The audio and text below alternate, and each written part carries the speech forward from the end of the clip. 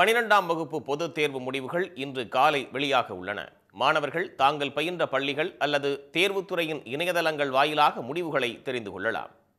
தமிழ்நாட்டில் பனிரெண்டாம் வகுப்பு மாணவர்களுக்கான பொதுத் தேர்வுகள் கடந்த மார்ச் மாதம் பதிமூன்றாம் தேதி தொடங்கி ஏப்ரல் மூன்றாம் தேதி வரை நடைபெற்றது. மொத்தம் மூன்றாயிரத்து முன்னூற்று இருபத்தி நான்கு மையங்களில் நடைபெற்ற தேர்வுகளை எட்டு லட்சத்து பதினேழாயிரம் மாணவ மாணவிகள் எழுதினர்.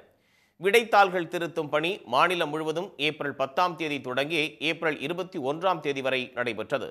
இதில் சுமார் ஐம்பதாயிரம் முதுநிலை பட்டதாரி ஆசிரியர்கள் ஈடுபட்டனர். விடைத்தாள் திருத்தும் பணிகள் முழுமையாக முடிவடைந்ததைத் தொடர்ந்து மதிப்பெண்களை பதிவேற்றம் செய்யும் பணி தொடங்கி நிறைவு பெற்றது. இதன் தொடர்ச்சியாக பிளஸ் டூ தேர்வு முடிவுகள் இன்று வெளியாகிறது. சென்னை கோட்டூர்புரம் அண்ணா நூற்றாண்டு நூலக வளாகத்தில் காலை ஒன்பது முப்பது மணிக்கு பள்ளி கல்வித்துறை அமைச்சர் அன்பில் மகேஷ் பொய்யாமொழி பிளஸ் டூ தேர்வு முடிவுகளை வெளியிட உள்ளார். இதையடுத்து மாணவ மாணவிகள் தாங்கள் பயின்ற பள்ளி மற்றும் இணையதளங்கள் வாயிலாக தேர்வு முடிவுகளை அறிந்து கொள்ளலாம்.